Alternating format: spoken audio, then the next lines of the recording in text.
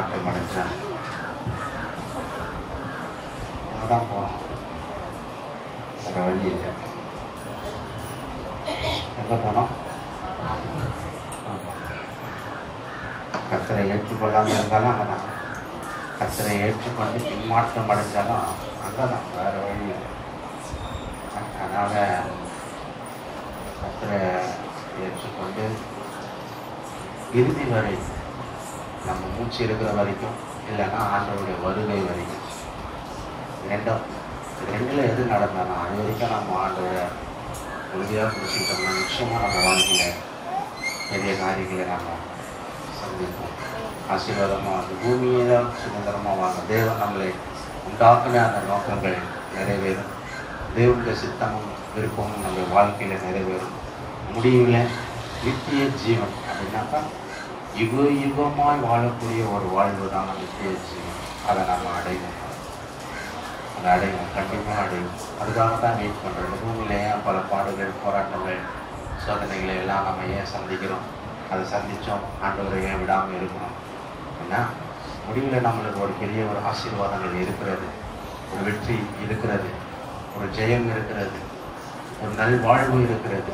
அந்த வாழ்வை அடைவதற்காக தான் இந்த பூமியில் சின்ன சின்ன கஷ்டங்கள் வந்தால் அதை நம்ம சந்திக்கிறோம் சகிக்கிறோம் அதை கடந்து போகணும். ஏன்னா நம்ம பின்னாடி பெரிய எதிர்காலத்தை நம்ம கணிக்கிறதுனால எதிர்காலத்தை திட்டமிடுகிறதுனால எதிர்காலத்தை குறித்து ஒரு பயம் இல்லை நம்மளுக்கு. ஏன்னா நம்ம என்னைக்காந்தாலும் ஒரு நாள் இது உலகத்துக்கு அறிஞ்ச உண்மை. கண்டிப்பாக உலகத்தில் இந்த பூமியில் பிறக்கிற மனுஷன் என்னைக்காவது ஒரு நாள் நித்திரை அடைய வேண்டும். கண்ணை போடணும் அதுதான் இந்த உலகத்தில் நடந்து கொண்டிருக்கிற சம்பவங்கள். இல்லையா என்றைக்காக இருந்தாலும் சரி நீ எண்பதாக இருந்தாலும் சரி நூறாக இருந்தாலும் சரி நூற்றி ஐம்பதாக கூட வச்சுக்கோங்க. அதுக்கப்புறம் அந்த லெவல் கிடையாது. அதுக்கப்புறம் ஒன்றும் இல்லை. அதோட முடியுது கதை. அப்போ அதுக்கப்புறம் மனுஷன் எப்படியாப்பட்ட ஐஸ்வர்யமானாக இருந்தாலும் சரி பிச்சைக்காரனாக இருந்தாலும் சரி அவன் ரெண்டு பேருமே யாராக இருந்தாலும் கண்ணை முடிதான் ஆகணும். இல்லையா அப்போ அதோடைய வாழ்க்கை நம்மளுக்கு முடிவடைகிறது. அதுக்கு பிறகு ஒரு வாழ்க்கை தான் தேவன் நமக்கு வைத்திருக்கிற நித்திய வாழ்வு யுக யுகமாய் தேவனோடும் அவருடைய தூதர்களோடும் பரிசுத்தவான்களோடும் வாழப் போகிற ஒரு வாழ்வு தான் நித்திய வாழ்வு. அந்த வாழ்வுக்காக தான் ஆண்டவரை ஏற்றுக்கொள்ளும் ஆண்டவரை அந்த ரட்சிப்புன்றது அதுதான் பாருங்க ரட்சிப்புனாக்கா எல்லாரும் நினைச்சா புடவை கொடுக்குறாங்க வேட்டி சட்டை கொடுக்குறாங்க அரிசி பருப்பு கொடுக்குறாங்க மனமதி கொடுக்குறாங்க அதனால வந்துடுறோம் அப்படின்னு நினச்சி. ஹலையிலுயா ரட்சிப்புன்றது அது இல்லை. தேவன் நமக்காகவே இறங்கி வந்து அவருடைய கடைசி சொட்டு ரத்தம் வரைக்கும் கல்வாரி சிலுவையிலே சிந்தி நமக்காக ஜீவ பலியாய் மாறி மறித்து மூன்றாம் நாள் உயிரோடு எழுந்து நமக்கும் அப்படிப்பட்ட ஒரு வாழ்வு நான் மறித்தேன். ஆகிலும் சதா காலங்களும் உயிரோடு இருக்கிறேன் என்ற அந்த வார்த்தையின்படி அந்த வாழ்வை நமக்கு கொடுப்பதற்காக இயேசு மறித்து உயிர் தேர்ந்து காட்டினார் நிரூபித்தார்.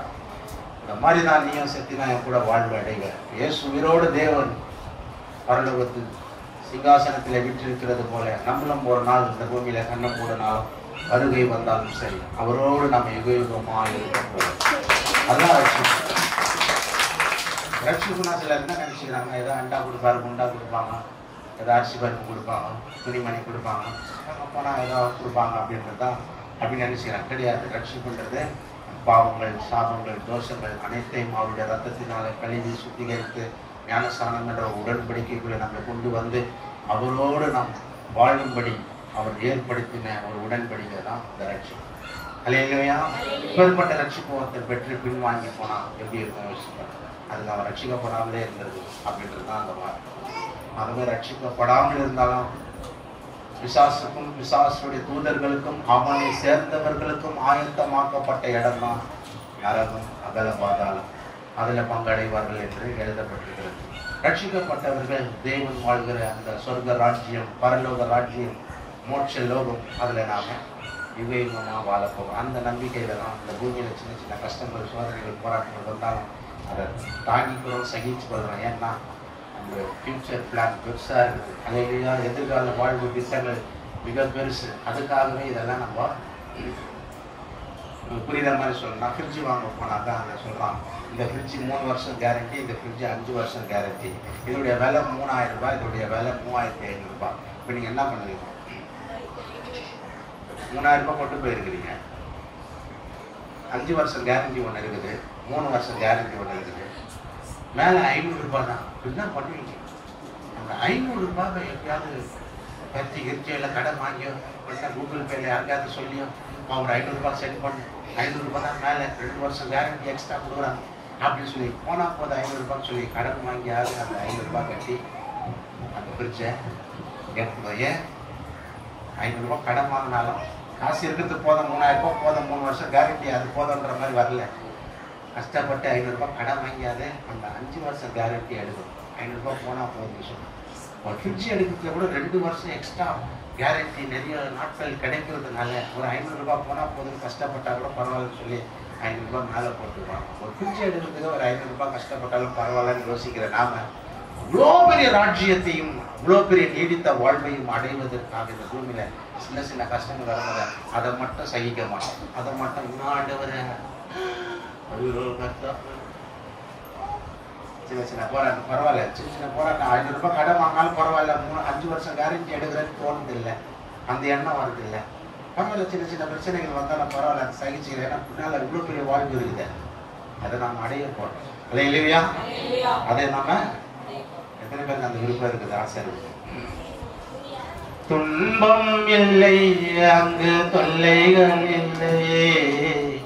பஞ்சம் இல்லை அங்கு பசியும் இல்லை. தூதர்கள் போல நான் ஆடுவேன்.